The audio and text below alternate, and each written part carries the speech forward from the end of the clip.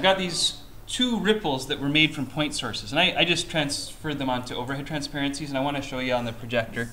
Um, if I were to take these two and put the two point sources close to each other, can you see the neat pattern there? Yeah. Wow. That, that neat pattern is, is the idea that these black lines, these simple black lines, the black lines may represent the peaks and the white lines may represent the troughs. But you can see that where the black lines overlap, you're going to get super dark regions. And where the white lines overlap, you're going to get the light regions. Can you see that you're going to get the same sort of pattern as we just discussed? If you get these two sources close to each other, there's constructive interference bands that are going to occur, and they're going to get, if you like, projected up against this line that I'm going to define with my, my Sharpie.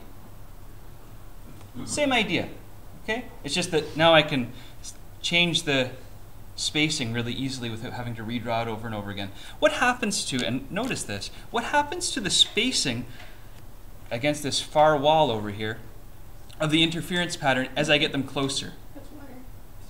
Yeah, we're dispersing the interference pattern. As I get them further apart, what happens to the interference pattern? There's more and smaller ones. Yeah. So here's I want to make a proposal to you. What if these weren't bathtub dippers? What if they actually were a radio antenna?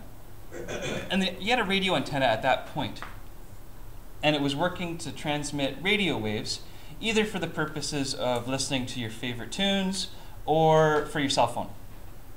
Let's go with the cell phone thing. Okay? How would you rather have it? If you could only have two cell phone towers in your neighborhood, how would you rather have it? Like this? Or like this? Why? where you're living. Well, it depends where you're living. Why, why do you say that, Andrew?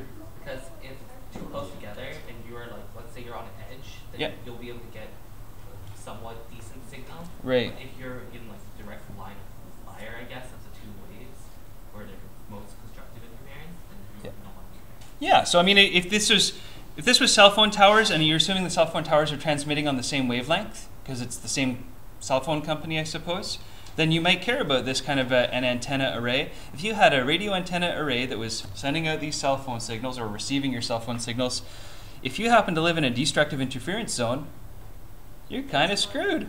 I think that was my old neighborhood. I never got my cell phone signal. It was like useless having a cell phone in that neighborhood. I never got a. I won't tell you what what cell phone company. I don't want to be accused of. Shh, never mind. Uh, uh, but when I moved to my new neighborhood, it was great. And I have a funny feeling that either there was no cell phone tower around, or or else there was an interference pattern. I suspect there was just no cell phone tower around. But no, maybe this was the case. Okay. On the other hand, like Andrew says, if they're if they're spaced in an intelligent way, you can make sure that either there's a minimized destructive interference pattern, or you could try and be strategic and, and not let the destructive interference locations happen where there's residential areas or whatever. Okay? So there's some thoughts that could go into this.